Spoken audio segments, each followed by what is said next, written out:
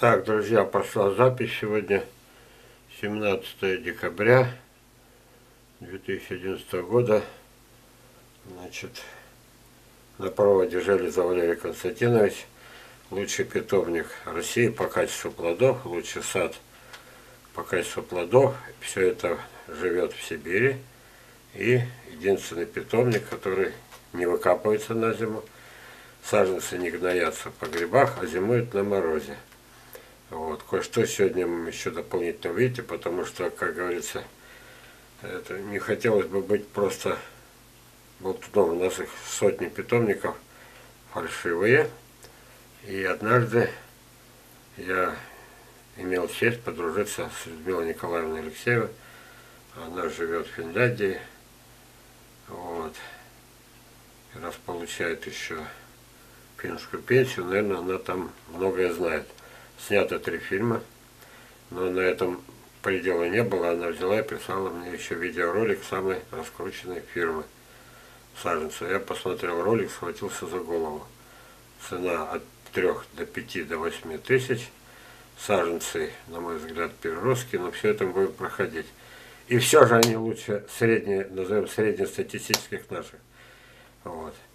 Поэтому сейчас э, коротко, конспективно, о чем мы говорили и о чем мы будем говорить чуть ниже. Вот. Людмила Николаевна, кажется, конца нашего не... У нас же планы на весну. Будем рынок дальше изучать. Давайте так, вот это вот проскакиваем, это ваши записи, это ваши посадки семян, в том числе моих, это ваши первые плоды. Вот, это саженцы Железова, которые вы умудрились выращивать в горшках, не закопав. Вот, и поэтому они имеют такой бледный вид. Но сыпать соль на рану опять, но дело в том, что мы с вами живем ради людей, и они должны знать, саженцы, это учеба, и вы согласились, и на меня обижаться не собирайтесь. Вот, вы понимаете, что вы совершили ошибку, не закопав за ПДС землей. И еще, если бы закопали, это учеба. Ой, кажется, несколько фильмов растянется. Мы говорим сейчас о финах, но мы, все будет в сравнении. Итак, вот они, раз, два, шесть саженцев. Они фактически уже больны. Если бы вы их закопали за под землей, и если бы я сказал закопать, они бы до конца пропали. Вот здесь бы стоял снег, и все. Значит, дополнительное условие закопки, вот предварительно вот здесь вот, а я это делаю ножницами по металлу, или острый-острый нож. Вот здесь вырезается довольно глубокая, с этой стороны и с той стороны, довольно глубокая, как бы назвать, щелка, щель. Вот, и вся э, вода как во время таяния снега должна стекать сюда. Вот. Ну и я надеюсь, что горшки, они похожи на наши. Обычные там должны быть не просто отверстия, а вот такие вот отверстия, не меньше. Так, идем быстро дальше. Учеба началась. Я ничего не делаю просто так. Вот.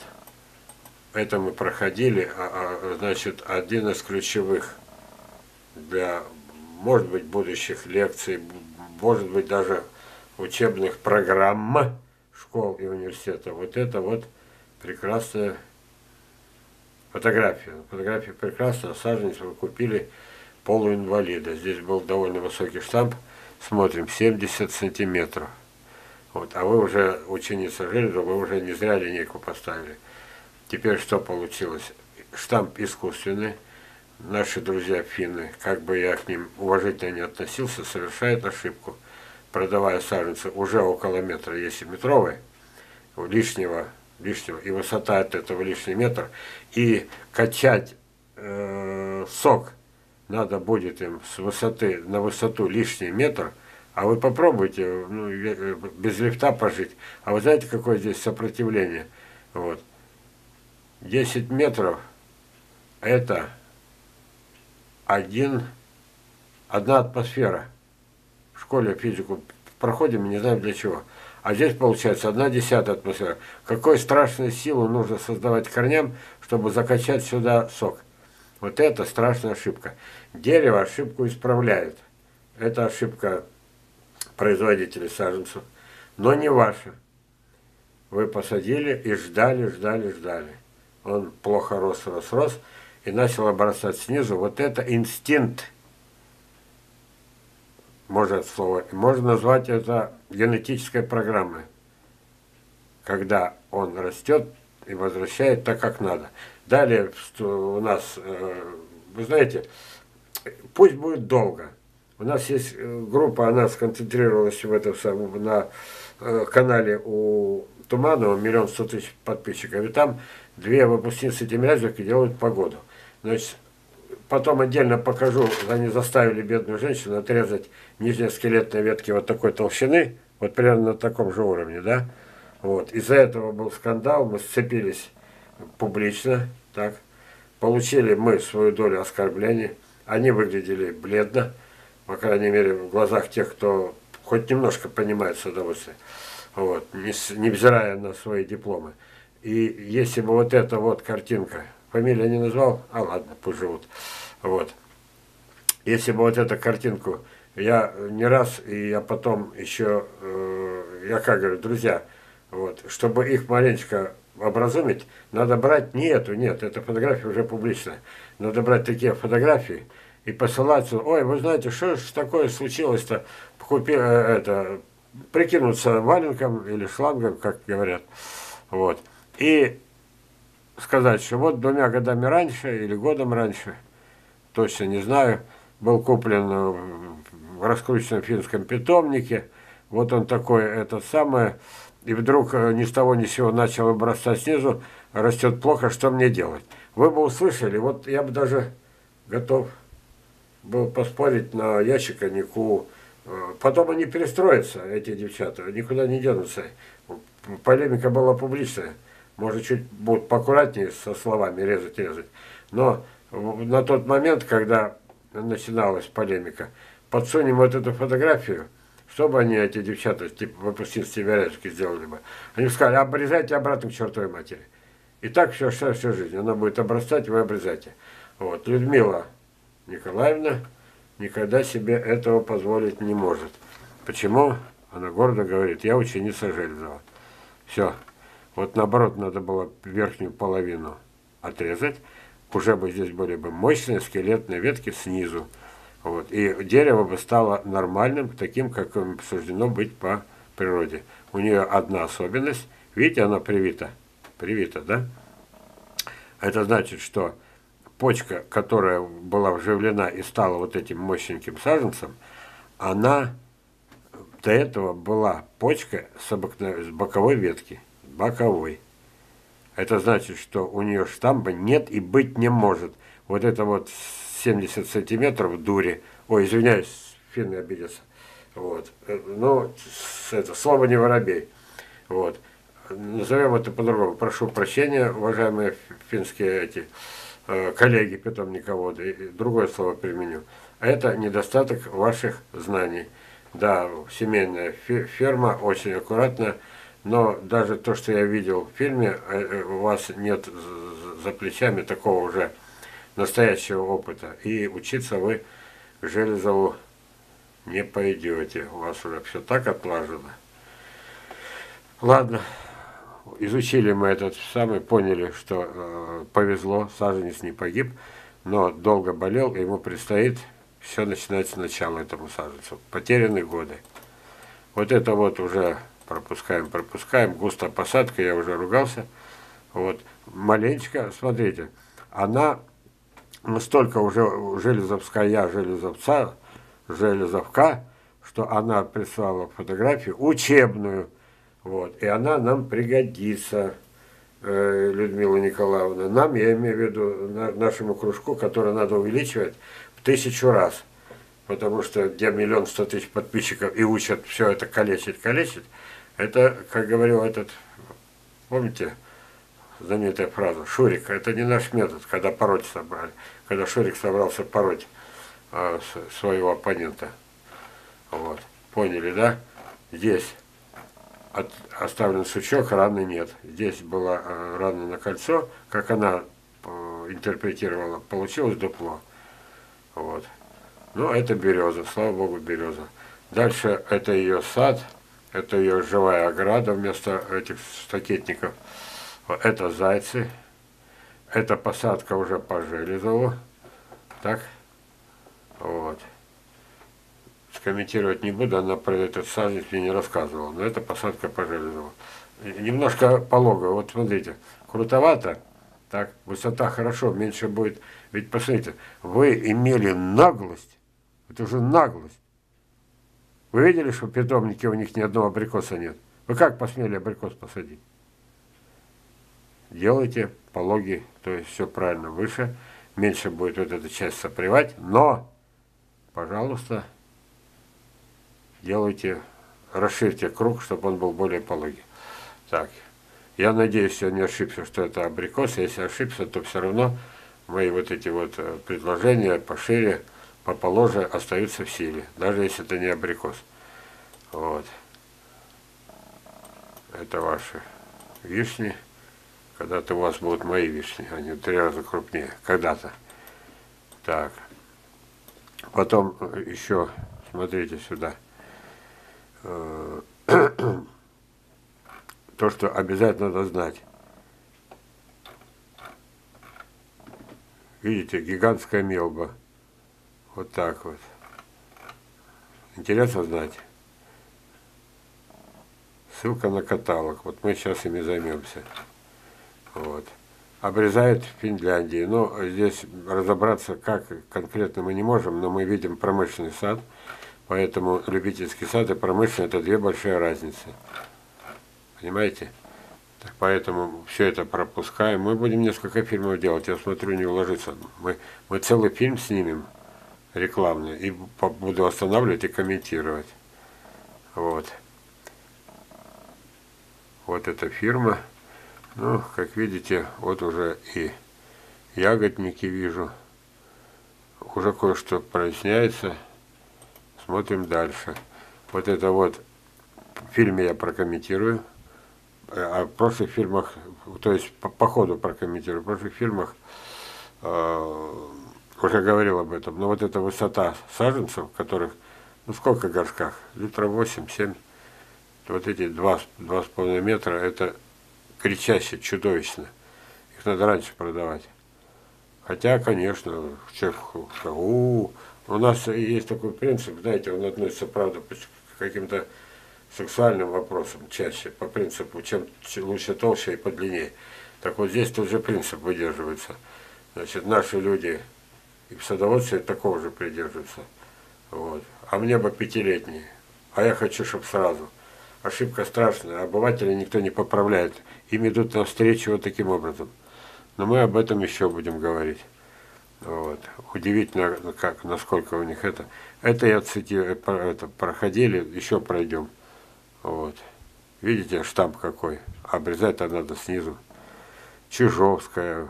Э, э, так что будем считать, что это они наши сорта перенимают. Здорово. Так. И вот это вот, потом мы еще поговорим. Чаще всего саженцы поставляются привитыми на карликовый подвой. Тогда получается нужна небольшая площадь, посадить оба деревца, а, это самое, наслаждаться неповторимо. Наслаждаться придется тем, что будет очень маленький урожай. Вот чем будете. Поэтому наслаждаться, правда, придется. Вот это мы заканчиваем обзор. Так. Вот. Посмотрели еще раз на цену. 30 евро. Хитрая цифра 29,95, как во всем мире. Уже не 30. Ого. Уже легче морально. Ну, множьте сколько там, 87-то рубль. 30 на 8, 2. В общем, внутри Финляндии 2000 с половиной, допустим, будет стоить такой. А переезжая в, в этот в Питер уже два раза минимум, два раза больше. Посмотрели? Так. Теперь мы будем противопоставлять как? Вот. Вот это вот, смотрите, я пока ни, ничего, ни о чем, ни о чем, ни о чем. Вот. Просто вы потом узнаете что это и сравните маленький ручной питомник называется, знаете как? Э, называется штучное изделие. Вот. А это будет в конце, в самом, надеюсь, вы дождетесь. А пока мы с вами самое главное увидим. Я сейчас буду комментировать этот фильм. Причем, наверное, несколько серий. Смотрите сюда. Вот он, мне присылает Людмила вот этот фильм, и мы его посмотрим. Внимание! Я буду по ходу комментировать, останавливать. Финляндия достаточно суровая страна для выращивания растений. Наш северный суровый климат не дает растениям возможности нормально развиваться. Выживают и размножаются только самые выносливые растения, приспособившиеся к местным условиям. Поэтому проживающим в наших широтах людям отнюдь не безразлично, откуда происходят посаженные на наших участках саженцы. Здорово, да? Части провинции Усима, местечке Бохенкуру, уже с 1980 года ведется целеустремленная работа по выведению устойчивого и... Так, стоп. Значит, что я вижу? Я вижу открытые площади. Там есть и эти теплицы, да, но все-таки открытые. Я вижу масштабы, масштабы гигантские. Там будут называть цифры. Вы услышите, например, 800 тысяч. Впечатляет? Против одной-двух тысяч Сергея. Ну, еще раз говорю, у Сергея Железова штучное изделие. Штучное. Вот. И совершенно другой уровень. Мы потом будем сравнивать. А пока я должен вернуться, промелькнуло очень-очень мельком вот это, смотрите что. Видите? Это не случайно, это я вернулся назад. Вы, когда вот так делается, практически никто не заметит. 31 градус мороза. Наверное, выбирали, долго ждали этого мороза, зафиксировали. Но для меня, сибиряка, э, так называемое Гольфстрим, теплое течение Атланти Атлантики, которое э, находится рядом с вами, уж простите за напоминание, да, снега у вас хватает, вот, потому что циклоны, они снежные, но теплые, и это берем крайний случай, вот, и э, в среднем получается, наверное, я не спросил Людмилу, но мы с ней потом еще будем общаться, Людмила, ну, так бывает, какие самые низкие морозы были? А вдруг 40, а вдруг 50? Я этого не знаю. Например, я знаю, что э, наш э, север, который прилегает к Финляндии, тот, тот же Кольский полуостров, да, вот, Архангельская область, ну, там как даст под 40. Хотелось бы, но вы все равно ближе к Атлантике. Давайте мы это, э, за вами будет эта цифра. Жаль, что я упустил, заранее не спросил. Но, даже 31 впечатляет, но мы с вами будем сомневаться. Э, еще раз, переезжая через, через Балтийское море, так, попадая в, это не только э, Питер, где-то на центральном рынке саженцы стоять будут, это и, ну, сами понимаете, это и Псковская область, это Новгородская область, вот, это весь полуостров, вот, вдоль этого самого Белого моря. Там, там климат покруче. Но давайте продолжим. Пока про климат поговорили, но больше этого мы не знаем. Отнюдь не безразлично ведется целеустремленная работа под открытым небом устойчивого и приспособленного к нашим условиям посадочного материала для... Так, маточного сада пока близко не вижу. А саженцы вот они. Вот э, дело вот в чем мы договорились э, все-таки э, с Людмилой Николаевной, что разбираться будем до конца. Вот сейчас декабрь, лежит снег. Вот эти саженцы так и стоят. Снег, конечно, прикрывает их большую часть. Возможно, что они, э, будучи ранированы, минус 31 видели, и правда не замерзают, так и оставаясь вот. Вот как есть. А возможно, что-то по погребам прячут. Вот, как делают у нас в России там, где они прекрасно гниют. Вот смотрите, я надеюсь, что у них лучше. Мне многое тут понравилось, и я не собираюсь критиковать финнов. Вот. Но сравнивать я буду с чем? Первое, с, с питомником Железова. Штучное изделие надо делать штучно, своими руками. Так. Это речь идет о питомнике, который при самом большем, если всей семьей, будет не 800 тысяч, а, допустим, 5 тысяч.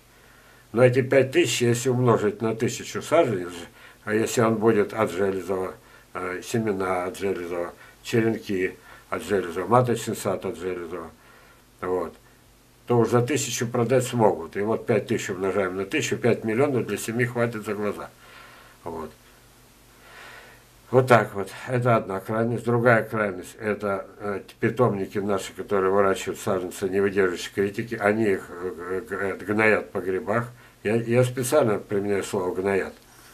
В погребе выдержать саженцы, их надо их невозможно хранить в горшках, никаких погребов не хватит. Их надо выкопать, их надо хранить с открытой корневой системой. А весной э, расставить по горшкам – а это уже халтура, потому что сразу на рынок. Идем дальше. Итак, э, получается, помните, мы договорились, что я подготовлю вопросы. Вот один из них. Как это все хранится зимой? Для меня это, это ну, учитывая, что если 31 это предельная температура, возможно, там ничего и прятать не Для надо. нужд садоводов-любителей. Эта работа принесла свои плоды. Продукция питомника заинтересовала потребителя. За последние годы объем производственных площадей увеличился до 70 гектаров, из которых на долю одних контейнерных материалов приходится около 14 гектаров земли. Наш питомник производит около 800 тысяч горшочных растений и около 1,2 миллионов штук клубничной рассады в год. В нашем ассортименте насчитывается уже более 600 наименований растений. Утарха Тахвасе также начал поставлять свою продукцию в Швецию и Россию. Швецию и Россию. Питомник Путарх Тахвасет является финским семейным предприятием, чтущим самые добрые традиции. Сегодня садоводы-профессионалы, представители третьего поколения, используют в своей работе и самые лучшие достижения современной Скажите честно, нам снилось когда-нибудь вот такое? Вот это вот. поколения, используют в своей работе самые лучшие достижения современной техники и освоенный за несколько поколений опыт предков и чуткий глаз садовода. Наше предприятие старается во всех А вот это, извините, коллеги финны, вот, это легкая халтура. Они, наверное, росли в горшках, и это их ненормальный цвет.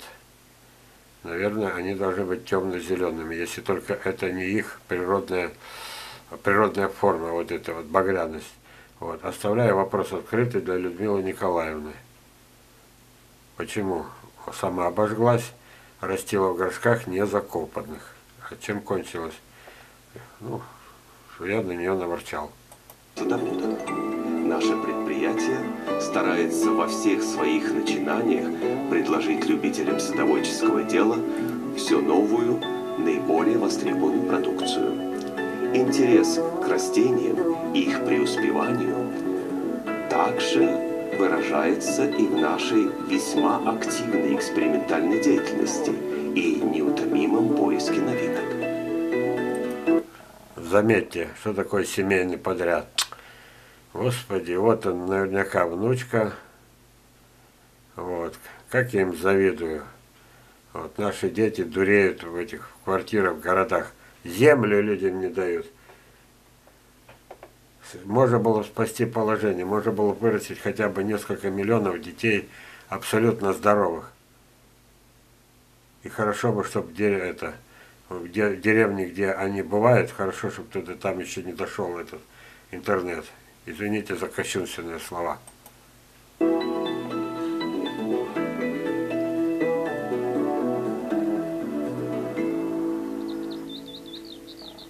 Мы предлагаем нашим финским клиентам новые виды продукции, такие как американские постоянно цветущие розы, Easy Elegance и долгоцветущие гортензии Endless Summer. Разработка нашей потребительской упаковки также свидетельствует об ин- инновационных технологиях. Например, наши саженцы для живых изгородей и клубничная рассада продаются в готовых и легко переносимых ячеистых упаковках. Посмотрим потом упаковки Сергея Железова, моего сына. Питомник Путер Тахвасет приветствует такие изменения в образе жизни, которые благоприятны для окружающей среды. Ловим момент, Эта смотрите. Хорошо вписывается в Чуть, производственную цепочку. чуть, чуть, чуть, чуть, чуть раньше, чуть-чуть. Вот, я, я, я нудный, извините, я противный. Путер Тахвасет Поднимает. приветствует такие изменения в образе жизни, которые благоприятны для окружающей среды. Еще секунда. Это Видели? Вот, вот, ну, чуть-чуть. Ну, в общем, вы поняли, метровый штамп. Идем дальше. хорошо вписывается Вот, в данном случае у меня такое ощущение, что это клен. Это дикорос. Вот. Такие деревья, которые вырастают с большим, еще раз, остановил съемку, этого звук.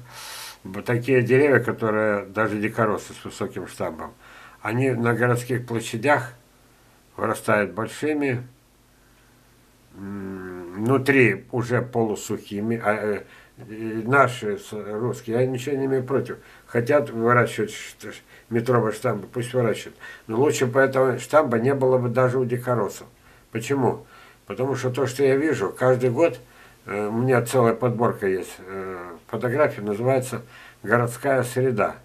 А если к ним еще добавить, вот просто набрать в интернете, значит, упавшие деревья, искалеченные люди, искалеченные машины, вот.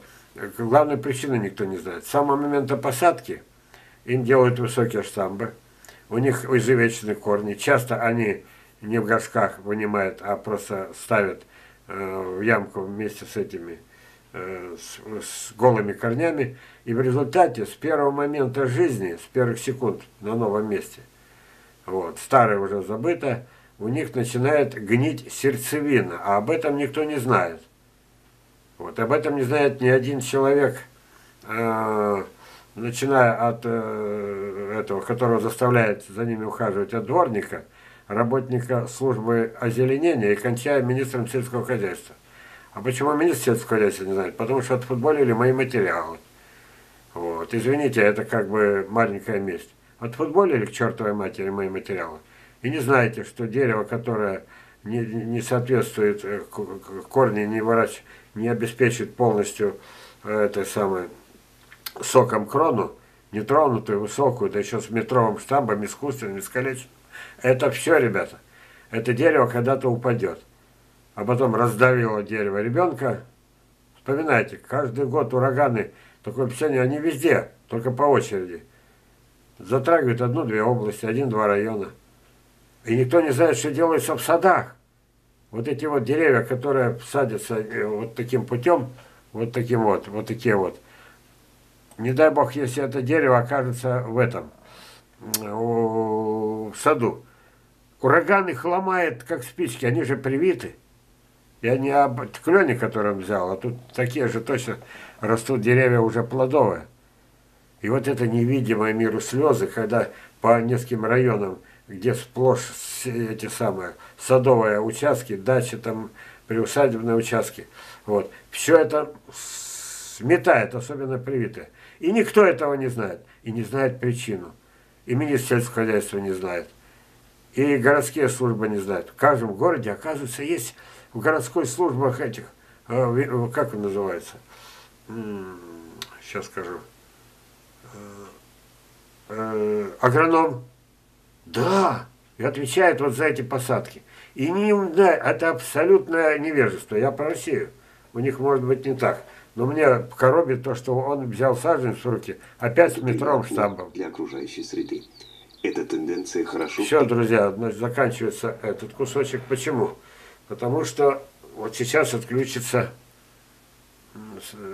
через 20 секунд отключится видеокамера. Ну, она не, не хочет дольше работать. Получается полчасовой фильм.